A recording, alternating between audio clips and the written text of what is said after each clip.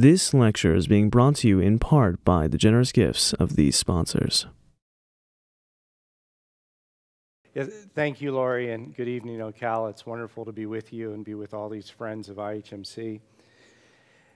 It's really my pleasure to be able to, to share with you a journey that I've personally been on over these past 12 or so years that really leads to the title of The Quantified Human. I'll start my lecture this evening with give you some of the background, some of the context as to why I became passionate about this particular area. It really rose out, if you will, a, a burning platform that the Air Force was dealing with over a decade ago. But I'll cover some of that context and set the stage for now how this translates over all these years later into two large research projects that IHMC is leading. The first one is called STACK, and everything with the Defense Department has an acronym. So I'll spell out the acronyms, what STACK stands for. And then we have a second one called APEX that hopefully will bring to life what we mean when we use this terminology of the quantified human. So, Laurie just gave you some of my background, but it'll set the stage in terms of 29 years with the Defense Department doing research and development for the DoD. Most of it, as you can see, the AFRL that Laurie referenced is the Air Force Research Laboratory. Consists of 12 locations around the world that does uh, all the fundamental and applied research for our airmen. As Laurie mentioned, I was a DARPA program manager. If you're not familiar with DARPA, this is the agency that has brought you the internet, stealth, GPS, and all the other amenities that we now associate with modern life. As a senior scientist for biotechnology and human performance, I switched over into that area from material science, and I became the first chief scientist of the Human Performance Wing. And that's relevant here because you'll see some of the key factors that the Human Performance Wing got pulled into in solving some of these critical Air Force problems.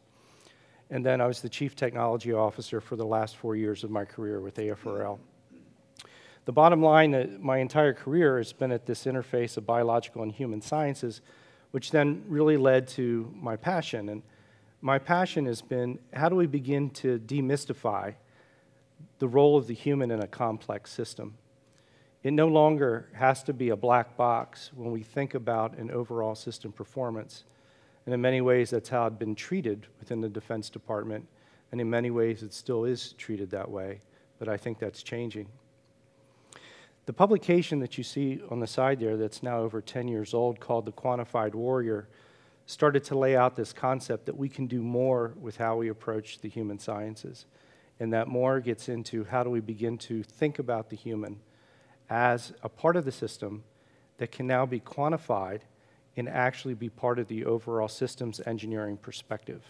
And again, I'll, I'll talk about that here for the rest of the talk. So, what was the burning platform? Around the 2011 2012 uh, timeframe, our fifth generation fighters, and when I say fifth generation, I'm talking about the F 22 and the F 35, they were having these things called UPEs, unexplained physiological episodes. And so, what was happening is that our pilots in these aircraft were having a difficult time breathing and getting oxygen. And so, a little background about these platforms these platforms generate oxygen on the actual airframe. They generate the oxygen using something that's called an OBOGS, an onboard oxygen generating system. And so, what we were trying to deal with is figure out why aren't the pilots getting enough oxygen? And of course, we lost aircraft because of this. As you might imagine, it's a catastrophic event when the pilot can no longer get the appropriate oxygen. And this has been a, something that's been studied in the Air Force for many years. But the central question was really the, the paradigm that set me on this journey is that that platform that you see there takes thousands of measurements across the entire airframe every second. And those measurements are used to actually keep that airplane in the air. All of our fifth generation and stealth fighter aircraft are flight unstable. And the reason that they can maintain flight is because of the active control system that comes through the onboard processing of sensor data from that platform. So if I'm taking these thousands of measurements across that aircraft every second, why am I not taking a single measurement off the pilot that's in the cockpit? I would think of all the things that I'm going to measure or instrument, that would strike me as a pretty important one to make sure that we get right. But yet at that time, we weren't. And when we started scrambling to try and figure out what was causing these unexplained physiological events, we were literally taking clinical grade uh, pulse oximeters out of a hospital setting and using hospital tape to tape them to pilots' fingers. Well, this may not shock you, but pilots use their hands a lot in the cockpit, so you can imagine how that went over in terms of when they're trying to use their controls and their joystick. So we had to come up with a better way, and that's the underlying motivation. But this isn't a lesson that we somehow learned in 2011 or 2012.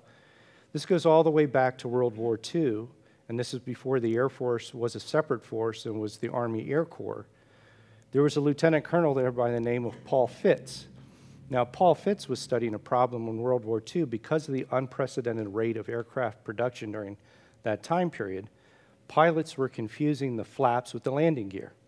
Again, that's a pretty big problem if you're getting those two mixed up. So Lieutenant Colonel Fitts started going about a systematic scientific review to figure out how do you actually lay out a cockpit so those type of confusions don't take place. And so as the pioneering work of Paul Fitts in World War II would actually, he went on to, after the war, to academic careers at Ohio State and Michigan and actually founded the field of human factors engineering that dominates how we think about the design of the human in the system today.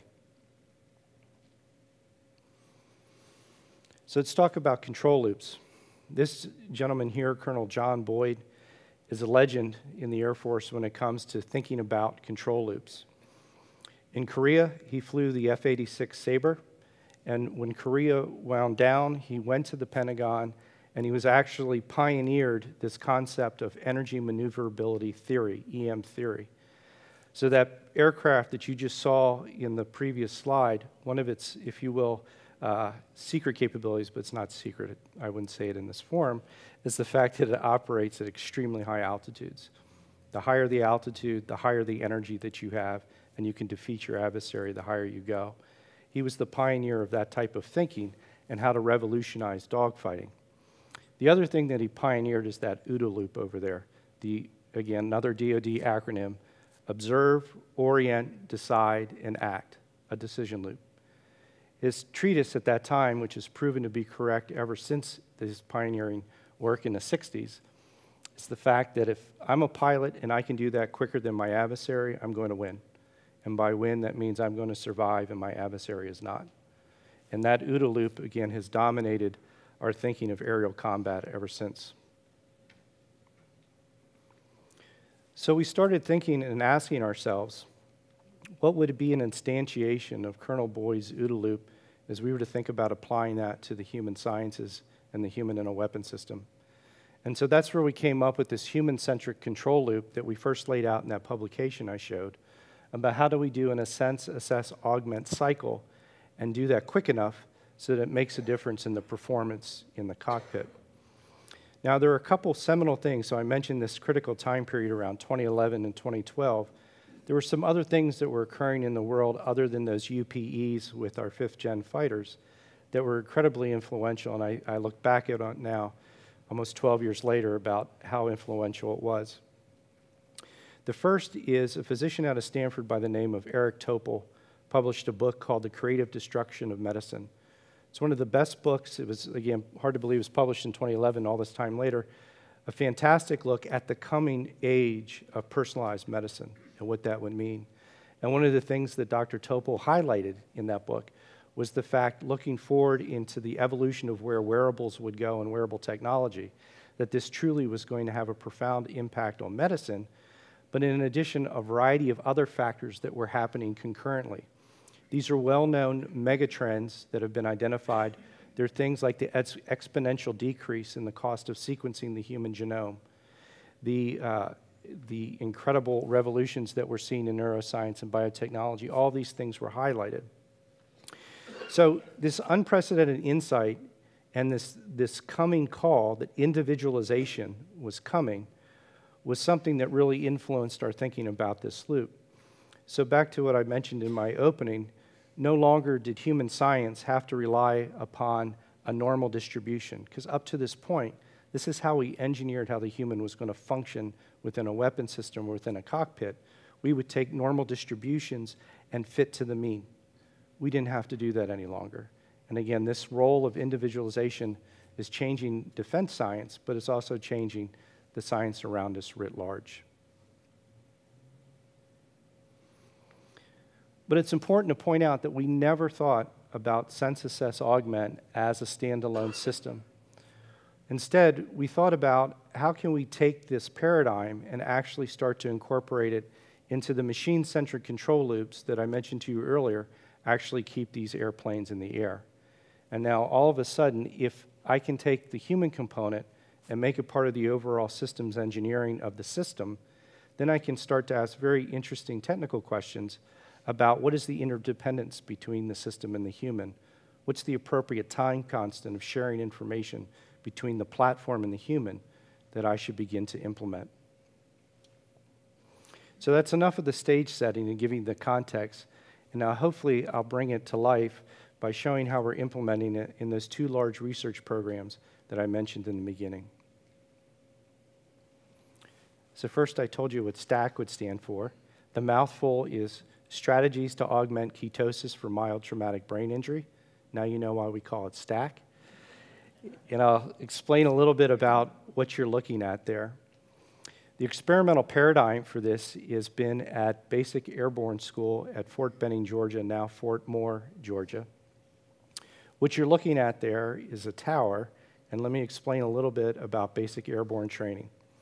It's composed of three weeks of training the first week is on the ground where they're learning the actual technique to do a parachute landing fall. The second week is on a tower like that where they're actually in harnesses and being released, and they now practice their falls coming out of the harness. And then the third week is the actual airborne jump week where they need to successfully complete five jumps, with at least one of those jumps being at night. And so, what I'm going to walk you through now is what this actually looks like in practice. The other key thing that I'd like to, to uh, be mindful of, and I think it's something that I certainly take great pride of in terms of the work that IHMC does, is the fact that when we do our work, we just don't do it in a place like Ocala or a place like Pensacola. We actually go out into the field and go to the bases where the subjects who can benefit the most from our research are actually part of the research. IHMC is very unique in being able to deploy large research teams to settings like Fort Moore to do the experimentation that I'm going to show you here in a minute. So, to help bring this to life, because I imagine a lot of you haven't been through basic airborne, have a little video clip to walk you through what it's like. And as we go through this, it'll give you a sense for one, the experimental paradigm. But you'll see here in the beginning, you'll see some examples of good falls, and then you'll see some examples of not so good falls that happen as they're learning their, their craft here on the tower.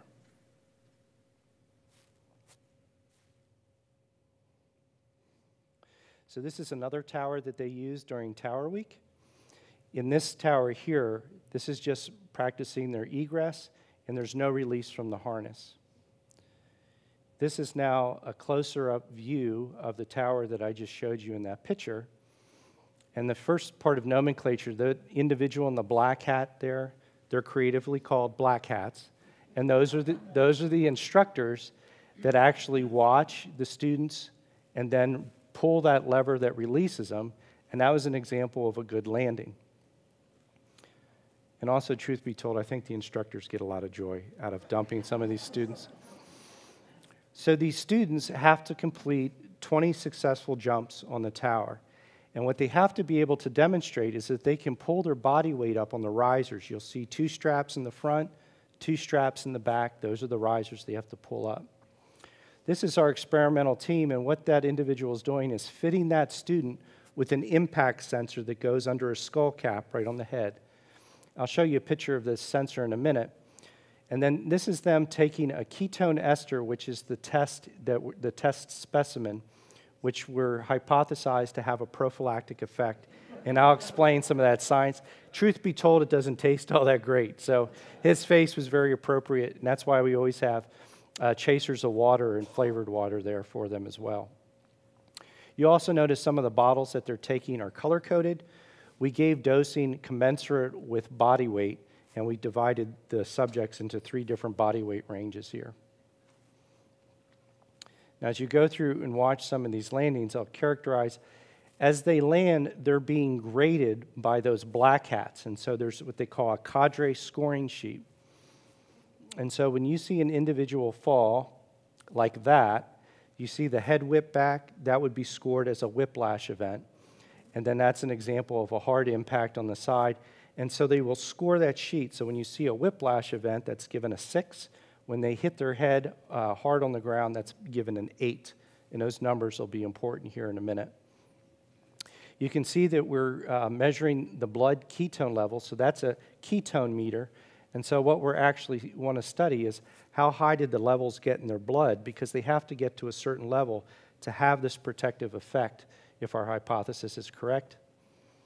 This is in one of the large classrooms that we used to draw blood. We did three different blood draws before they do their training, four hours after their training, and then the next morning so that there's significant time to look for biomarkers, and I'll explain that in a little bit as well. And then we give them tests.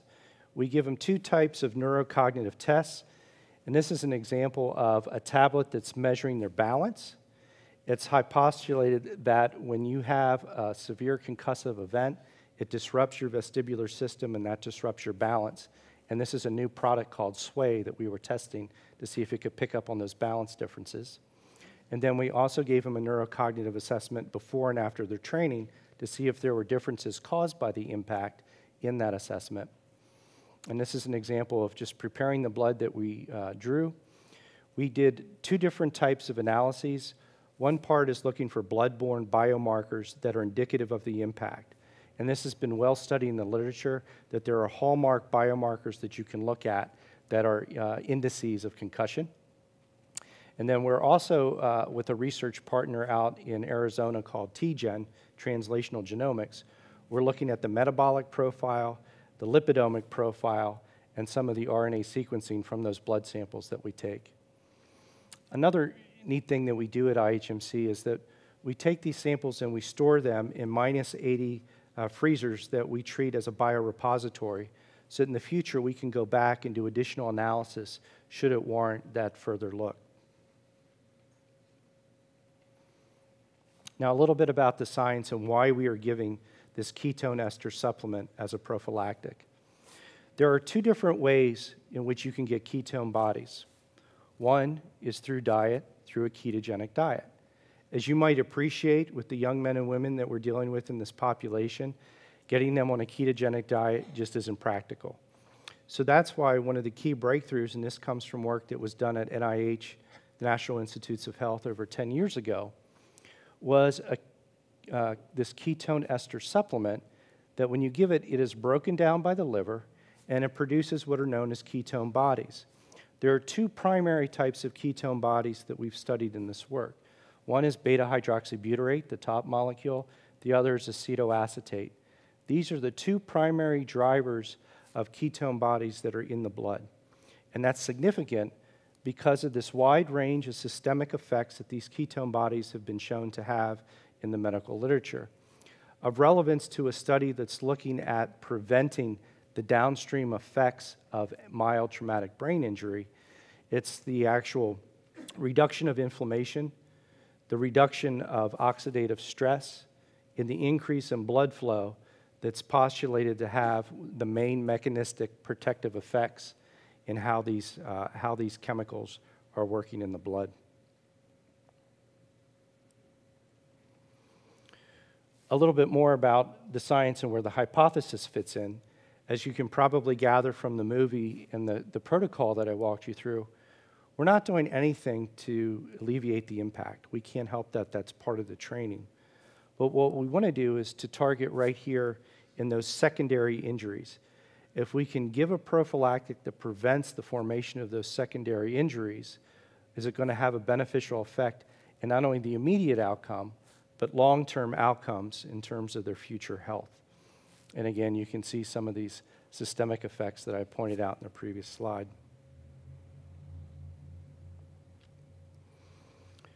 So, why do this field work at Fort Moore? The short and simple answer is throughput. And I call your attention to the second line here. 15,000 students go through Fort Moore every year to be qualified as basic airborne training qualified. One of the key things that we've already found out in this study is that in the literature, there's a wide range of incidence of MTBI between 10 and 25 percent. That range is so wide is because there wasn't a concise way, an accurate way, to actually measure whether somebody had a concussive event or not. What we're already seeing from the sensor implementation that we have put on these students, as well as some of the neurocognitive assessments, is that this range is actually between closer to 18 to 33 percent. So you do some quick math, 18 to 33 percent on 15,000 is thousands of kids that are receiving a mild traumatic brain injury by virtue of this training every year. So if we can make a difference in alleviating these secondary effects, it has a profound multiplication effect as well. When we originally designed the study, we wanted to enroll uh, equal than or less than 350 participants. The support that we got at Fort Moore was so outstanding with this actual study that we were able to recruit uh, actually closer to 390 students through this. So, this is by far the largest study that's ever been conducted looking at a prophylactic in its treatment of mild traumatic brain injury. And now I'll talk a little bit about the unique aspects of this through that sense assess augment paradigm and what that looks like. So, first, the sense piece. This is that sensor I mentioned that was being put in the skull cap on the side of their head. It's about the size of a stick of chewing gum, and it's about as thick as well. This is called the Linx IAS system for uh, impact assessment sensor. This is made by a company called B3. B3 has been funded by the Defense Department for years to make blast sensors and they make large uh, vest-worn blast sensors that our troops wear in theater today. But they also had a side project where they were developing a much smaller uh, impact sensor that would target a civilian market. So that's an example of the sense in the sense assess paradigm. The assessment piece, the neurocognitive piece that I was mentioning, there are examples of soldiers that are doing that sway test, again, that was looking at balance. And we also gave them an assessment both pre and post training called ANAM, another acronym, stands for Automated Neurocognitive Assessment Measures. And I'll show you some of the results of that because it's quite telling that when you do this type of neurocognitive assessment, we're testing different aspects of brain function. And I find it interesting how post concussive event how these different measures of cognitive performance change depending on the task at hand and depending on the severity of the impact. And also part of that assess piece is the biospecimen collection and analysis that you saw earlier. Three primary blood biomarkers that we're looking for, and this has been validated in the literature, and those are biomarkers called GFAP, UCHL1, and NFL for neurofilament light. And I also already mentioned the blood profiling that's going on with metabolomics, RNA sequencing, and lipidomics. And then the augment piece, which is the delivery of the prophylactic and being within that window of efficacy. One of the nice things, and I'll talk towards the end about civilian translations, what in the Defense Department we call dual use technology. You give the prophylactic, as you saw, if you can get over some of the taste. It takes 30 minutes to reach maximal levels within the blood. But then it has a window of efficacy between three and four hours before it gets cleared out of the blood again.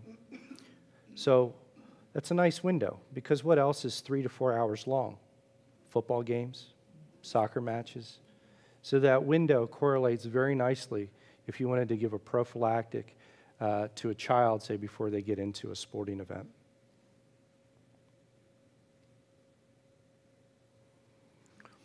While I mentioned we recruited uh, close to 390 total participants, it was actually 329 that we got through the entire protocol. Because as you go through a protocol, some people uh, drop out of the protocol, et cetera, don't adhere to the protocol. And the numbers here and getting into the bullseye 232 of those individuals recorded at least one event using that impact sensor, but that was a very sensitive measure. If I were to constrict it all the way down, 58 of those 329, or 18%, scored at least one eight on that cadre scoring sheet. So if you remember the scoring, the black hats that are there watching them fall, if they get a whiplash event at six, if they hit their head with a significant impact, it gets an eight. So we're going to focus in on the eight that were scored by a hands on instructor for having a significant head impact as they fell off that tower. And these are some of the preliminary results that we saw. I know there's a lot on here, so just give me a sense to a few minutes to walk you through uh, this busy slide. First, I'll call your attention to the key that's in the upper right. So the open circles means zero head impact is scored by the instructors. The closed circles means they had at least one eight score from the instructors. So that explains the open and the close. A little bit about the results. So I'll uh, focus your attention on this outside panel here and this outside panel here. These are measures of simple visual recognition and reaction time. So read into that. Doesn't take a lot of cognitive processing. Just visually recognize something on the screen. If it's what the instructions say, press a button. That's it. Now, it's interesting, if there's no impact, you actually see, if you look at the open circles, you see a negative slope. Why the negative slope? It's well known that there's a learning effect, a practice effect, from the first time you take it to the second time you take it. So that's why you see a decrease in that reaction time. For those that had a significant concussed event, you can actually not only do you have a learning effect, you have quite the opposite. You have an increased reaction time and just being able to visually recognize something and press a button. For the middle two panels, it's even more interesting. It's more interesting because now we're not just doing a simple visual recognition task. What we are doing in the second panel here is that they have to remember a symbol that was paired with a number. So it's now involving a higher cognitive processing in terms of memory recall. And this panel over here, it involves mathematical processing. So now they have to start uh, accessing reasoning within the frontal cortex. And to give you an example of what that task looks like, they're given three single digit numbers, two operators like the example shown here, and they have to decide is it greater than five or less than five? If it's less than five, hit that button. If it's greater than five, hit that button. So again, you can see that the reasoning is much more involved here than just visually recognizing something. And this is where we start to see the largest effect between the group that's been concussed and the group that is not, with a significant increase in difference here in the reaction time or the processing time to actually get through that task. So, this is the first time that we're starting to get very definitive evidence around being able to measure the impact of this concussive event during training and actually see it with quantified data. Now, up to this point, I've used the term preliminary results. We still have the experimental groups blinded. So we can't tell which has got the placebo and which got the actual ketone ester until we finish our analysis to keep from introducing bias into the results. But I will foreshadow one of the things that we're very interested now in finding is we take this group of 58 that are lumped into here, understand how do those curves diverge if they got a placebo or they actually got the experimental treatment. I'm going to switch gears and now talk about the second project that I mentioned or foreshadowed in the beginning this assessing and augmenting performance in extreme environments, or just simply APEX. For the purposes of our discussion today, when we talk about extreme environments, the key thing that the Air Force is focusing on this research effort has been examining fatigue, and in particular, the fatigue that's associated with long distance transport. One of the key things that our military is concerned with now is how do we begin to prepare, hopefully, never comes to it, but prepare for a near peer adversary like China. If we engage in that, that means you can't get over the tyranny of distance that's inherent in the Pacific. So if we're going to start making uh, multi dozen hour trips, uh, round trips through the Pacific, how do we begin to battle some of the inevitable fatigue that's going to settle in? Should also mention that one of the unique things about this project is that this is a cooperative research project with the Air Force Research Laboratory. And what that means, if you normally get a research grant, it's just a one way, here's your grant, do your work. In this case, there's a back and forth between ourselves and our military sponsors that makes this very unique and very cooperative.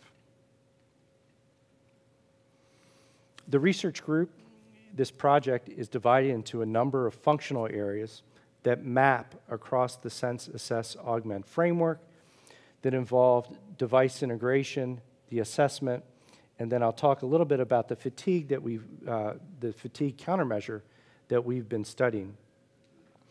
The other key thing that you'll see here in a minute is the fact that by virtue of this cooperative environment, it brings together commercial and academic partners to the table.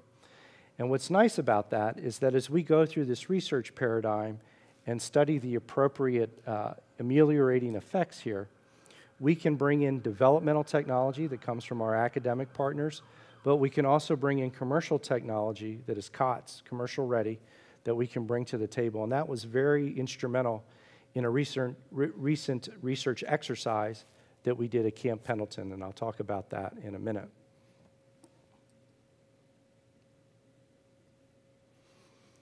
So, going through the paradigm in a little more detail, on the sense side, triple ring technologies has brought to bear a very unique EKG, ECG sensor that also has an inertial measurement unit built into it, so you can get uh, body axis positioning information. Polar, who has done a tremendous amount, you may be familiar with Polar from the civilian fitness market, but they have done a tremendous work, amount of work with the DoD. And in this case, part of the, the Polar kit that they have brought to the table has been very instrumental, not just looking at heart rate, but one of the key measures of human performance that is emerging is looking at heart rate variability and measuring that accurately. Abbott BioWearables is part of this, and I'll talk a little bit about the interesting science that's coming out of measuring interstitial fluid. So if any of you use the Freestyle Libre system that's made by Abbott BioWearables for the diabetic market, it's an incredible technology that has really revolutionized how people treat diabetes.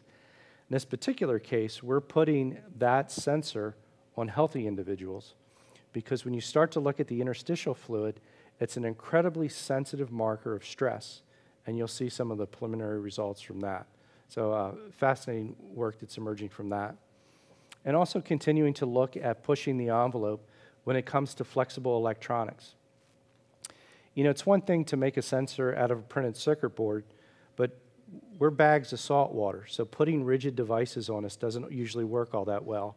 So having things that can flex and move the way our skin does is really one of the key uh, research frontiers that we need to push. This is part of the assess piece in Sense Assess Augment.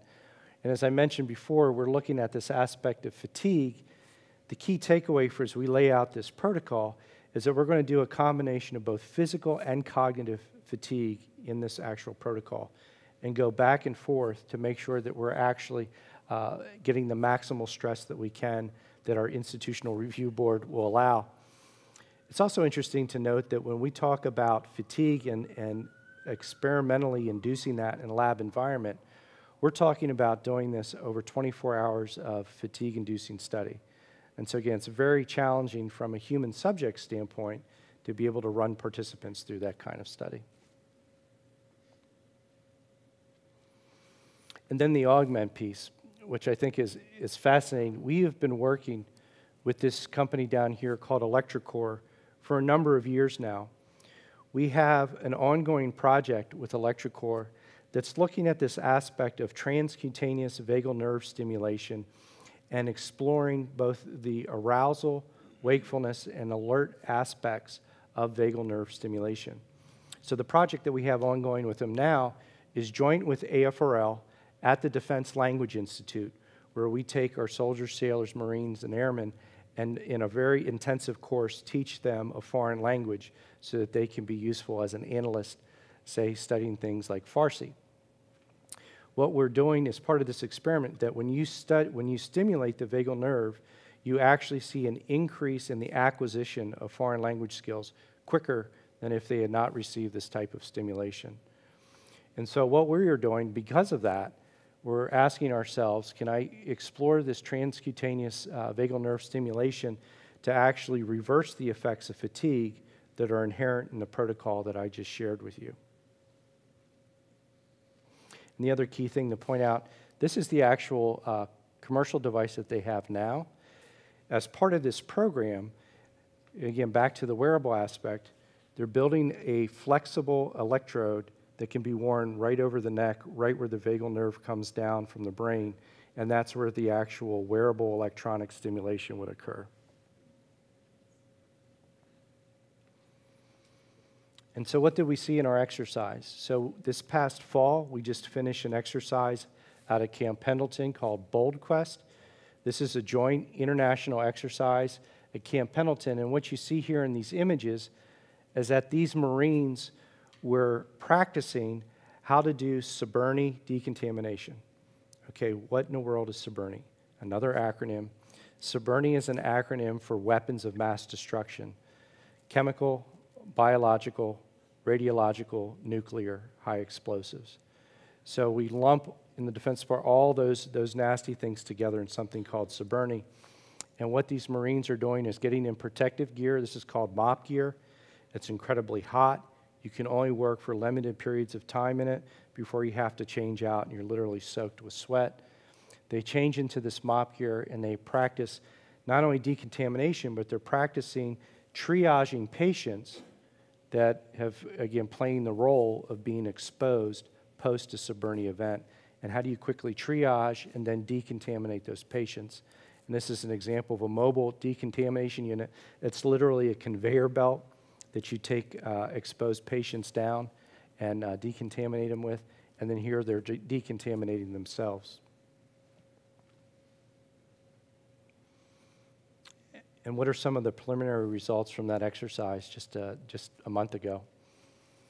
You can see this is data. That, so we took a Google Earth image and overlaid data that's coming from the polar sensors that I showed you in the previous slide. So, what this God's eye view already begins to show you are the motions of the Marines as they go through this decontamination scenario. But by virtue of some of the heart rate information, you get a sense of the workload that's being experienced by those Marines while they go through that decontamination process as well. This starts to become interesting if you put yourself in the role of a commander or a unit leader, where you have to get an understanding of how is my unit performing? Is there a particular individual who's on the verge of heat stroke that I need to pull out of that decontamination scenario and swap in with a fresh individual? And so that's where a lot of this interest is coming in is how do you take this sense assess augment paradigm and put that into a dashboard that a decision maker can use to actually optimize their troops? And this gets back to some of the interstitial fluid uh, monitoring that I mentioned earlier. So this is using the Abbott Libre Sense, using it, it's a continuous glucose monitor with a Supersapiens uh, back end. But what you can see here is pointed out by these fiducials as soon as they go to put that MOPP gear, that heavy protective gear on, you see an elevation in blood glucose levels indicative of the stress that they're starting to undergo as soon as they put that MOPP gear on. You can see it stays elevated through the exercise, the exercise ends, glucose levels drop. Then, of course, they go up as they experience lunch, fall back down after lunch, and then start again. You see the uh, levels come back up. So, we're fascinated by this fact of using uh, uh, an interstitial fluid sensor that's largely made for the diabetic market, putting that on healthy individuals, and looking at these markers of, of stress. The other thing that's interesting, and this is collaborative work, should have pointed out with Josh Hagen, who's joint between Ohio State and IHMC, is the fact that Abbott is continuing to push the chemistry that's involved in these interstitial fluid sensors. So this is glucose, but they're getting ready to pull out sensors that can do lactate and can also do ketones. If you can do ketones, lactate, and glucose, you can know everything you need to know about blood metabolism and the state of the individual. So that concludes talking about those two projects and how we're using this paradigm of sense assess augment. But where's this going in the future? Why I feel that this is so important is because we are rapidly getting into a world of human machine teaming. And what we mean by that is that everything up to this point has really been about unidirectional flow, taking information through screens and dashboards and cockpit displays, and continuing to push that information in one direction to the human operator. And the thing that we constantly hear from the operators that we work with is don't push any more information to me. I'm already suffering from information overload, and my workload is already too high. As the advances continue to roll out with artificial intelligence, what is going to happen and is happening is that the agent on this side is starting to take the initiative for more decisions. If the agent is taking the initiative for more decisions, what you're starting to set up is a paradigm where you have bidirectional information flow. If you're having bidirectional information flow, just like a human team, this is the dy- dynamic we need to understand when we think about human machine teaming. And that's clearly uh, where the, the DoD is going, and in many ways, the larger world. And how do we see that playing out? This is an example that's already underway. What you see here on the left is a uh, rendering of a program that started out as Loyal Wingman and is now morphed into a program called Skyborg. I don't know who names these programs, by the way, but that was the, probably the worst naming change ever.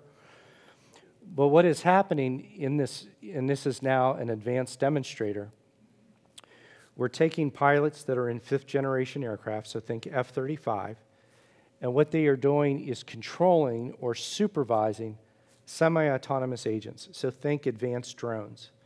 So no longer is the concept going to be that I'm going to be a pilot as part of a four ship formation. I'm going to be a pilot in a four ship formation, and I'm going to be supervising a whole variety of unmanned drones that I'm going to quarterback all around the battlefield. So, by definition, you can start to see that these agents are going to start taking initiative, but unless we move forward with the appropriate sense assess augment paradigm, I would argue to you there's no way a pilot is going to be able to do that effectively in a combat operation.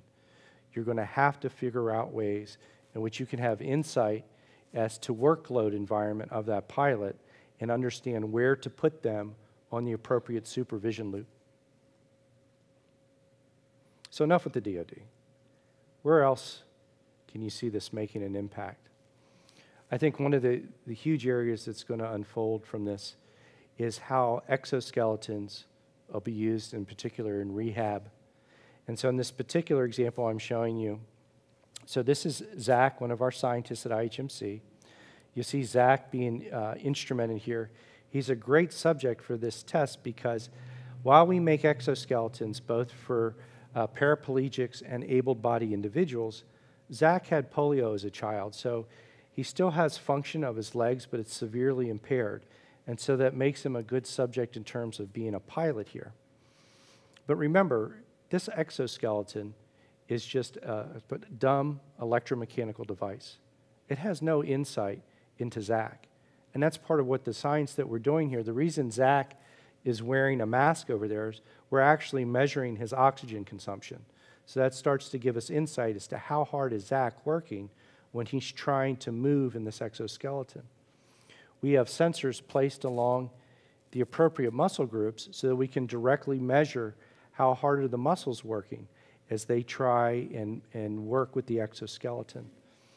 So if you revisit this now from a sense assess augment paradigm, the ability to take feedback from these wearable sensors, in these cases, these are EMGs, electromyograms. If we can take feedback from that and interface it properly into the exoskeleton, the exoskeleton is no longer a dumb electromechanical device and now has some insight as to the operator that's using it. And if you remember my opening comments about marching on this path towards individualization, imagine a re- rehab paradigm where the exoskeleton is particularly tuned to you, to your injury, and learns how you're progressing over time through that rehabilitation sequence. So I think that's, uh, uh, for me, an incredibly exciting future of what this could mean for, for rehab. And then stepping back even broader and, and conclude here, Hopefully, what you've seen through this paradigm is that there are numerous civilian applications of where sense assess augment can make a difference in the lives of individuals.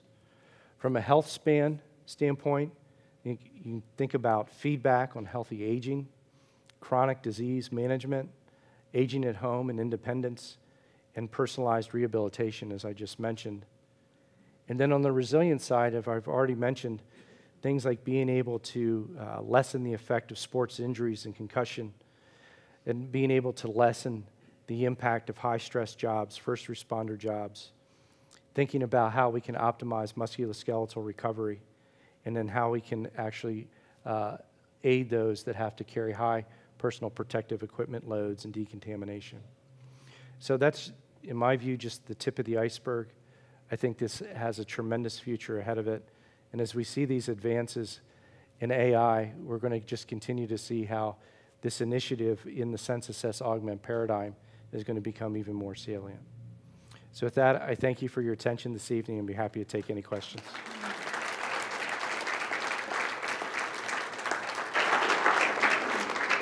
Oh, Gosh, the hands are going up like crazy. Okay, all right, I thought- saw you first, sir. Here you go. Hi, uh, just wondering what the result of the pilots losing oxygen in the F-35s was. Well, the result was, first of all, some re-engineering that was done on the OBOG system. But the other key thing was re-evaluating the actual vest ensemble that they wear when they actually get into the cockpit. It's PPE kind of stuff, but a lot of it is more directed towards the life support aspect that's within the cockpit. And a lot of it was trying to uh, do everything that could that is possible to ameliorate the restrictive effect that wearing a lot of that kit had on people. So it was so was a combination both the system that generates the oxygen as well as the actual life support kit that each pilot has.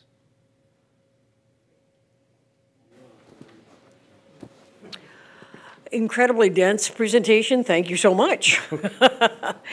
the, my, the question that I have in particular is the individual that you were tracing the second part of the presentation where his glucose going up 200, et cetera. In that study, are you looking at some of the other evolving biomarkers of metabolic health? I don't think that individual was a healthy individual and according to a more modern sense of what health is. So are you looking at those sophistications as well when you're evaluating that process? Yeah, it is part of the, the history that we take on subjects when they come into these studies. How about the biochemical markers? The biochemical markers, a lot of, I'd say unfortunately, because of the recruiting shortfalls that are found within all of our services except the Marine Corps right now, they are changing the standards for both physical fitness, weight, and what's required to actually enter into the service. The reason I give you that background is that many of our incoming soldiers, sailors, and airmen are actually in the early stages of metabolic disease. So that, that's inevitable now in the current environment that we're in. And so I think even more so, finding ways to lessen that impact has got to be a higher priority. Yeah, I'm interested in the health span, uh, particularly the personalized rehabilitation. I'm, I'm an active 72-year-old. I work out, I ride my bike, I uh, do something active every single day. But man, all of a sudden my back goes out, I twist my ankle. Is what you're talking about going to help with that? Possibly. Possibly. The, the wiggle room of possible. I, it, when I was thinking about a nearer term application of rehab uh, exoskeletons and, and the impact that it could have there, was less on the everyday aches and pains and more for those that are truly recovering from something like ACL surgery, someone who's actually uh, recovering from something that's a little more severe for right now. But I do see a further out future where you could think about your own personal device at home that is, if you will, your, your personal exoskeleton companion that you put on not only to help work through those things, but before you actually get to the rehab, actually play a, a key role in diagnosing what's actually wrong with you because there's a tremendous amount that can be learned from changes in your gait in terms of your overall health. So I think there'll be a key role to the, if you will, the left of the rehab, which is more on the diagnosis front. We have questions here. So on the ketone supplement that you were talking about, I think it was in the beginning, mm-hmm. that they had to take that didn't taste so great, and it gave a, a, a- about a window of about three hours, you were mm-hmm. saying? Mm-hmm. Um, Would, would it benefit to continuously do something like that? And is that something that is available, or is that just propaganda that we see sometimes on the internet? No, no, it, it is commercially available. In fact, the product that we use in this study is commercially available. Um, it's called Delta G Tactical that we use in this. Uh, again, the downsides, it, of course, you saw the taste, but it's also very expensive. And so there are a variety of newer products that are coming on the market. Uh, Ken and I actually use one where it tastes a heck, heck of a lot better, and it gives you the same serum ketone body levels that you get through Delta G Tactical, and it's also uh, significantly cheaper. I give you that background because uh, Ken and I, it's not part of a study, but we take it all the time repeatedly. Uh, and mainly it helps us from a metabolic standpoint. But there, there's no reason you couldn't do a second of, uh, dose effect. There's no limit on the dosing that you can do that we know of.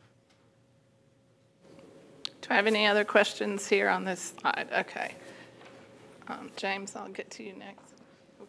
You, can you grab? Can you throw? Catch? Um, I'm interested because I had my hip replaced last November, and I have not been able to walk properly the way I did before. And I want to know is this like 50 years from now, this is going to happen? 25 years? Is it here right now? Can I go to my physical therapist and say, instead of using a mirror and saying, well, think about how you hold yourself when you walk and think about your alignment.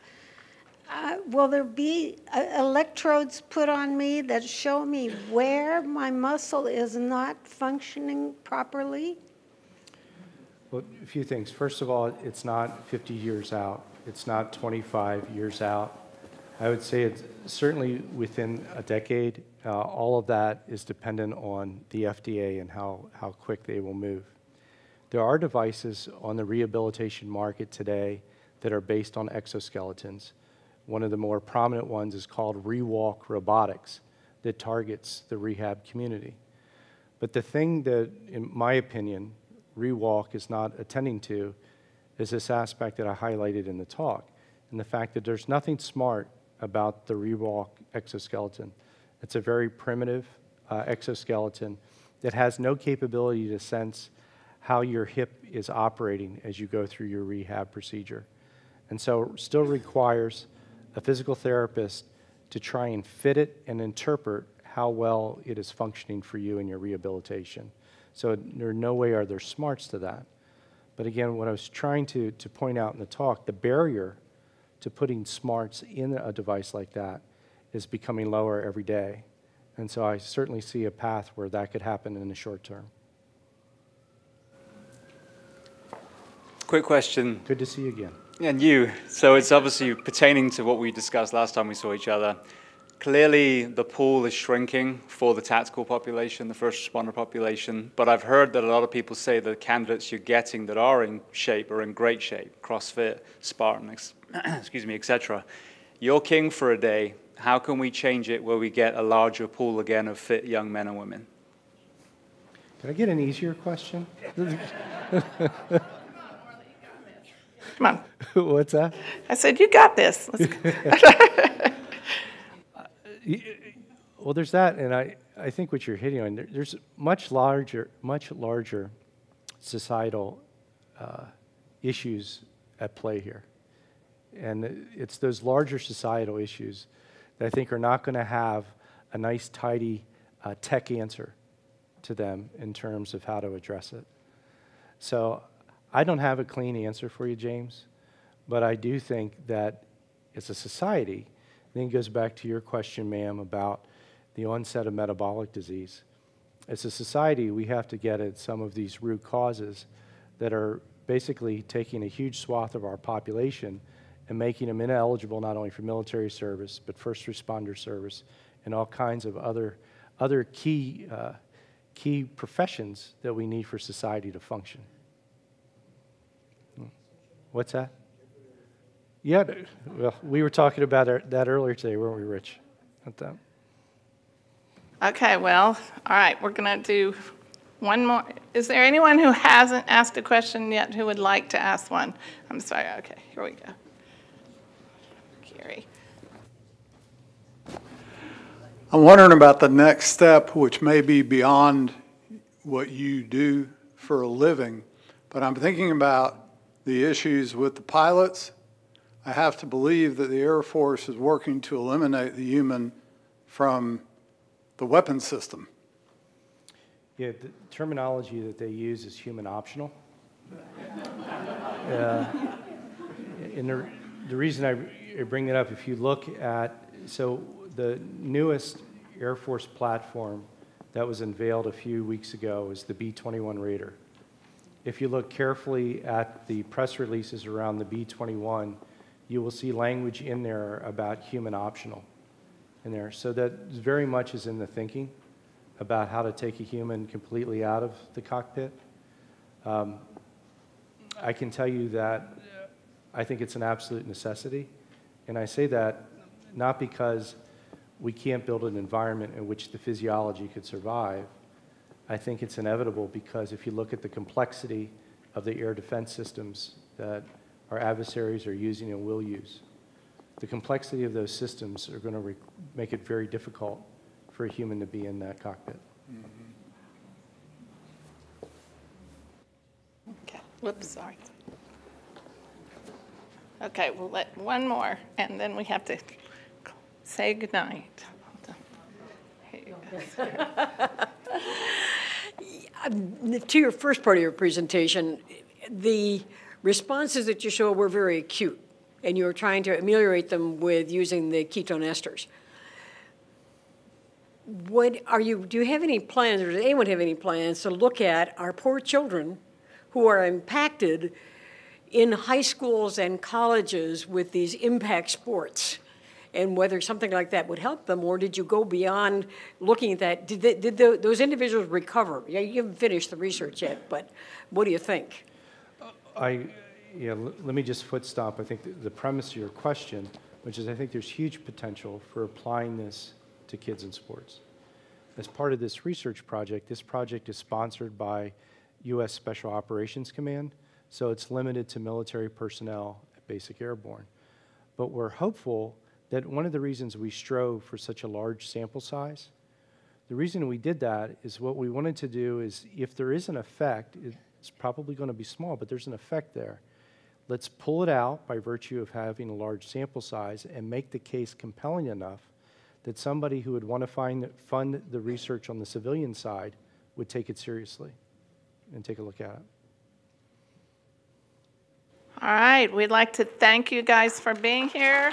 Thank you, Morley, for being here.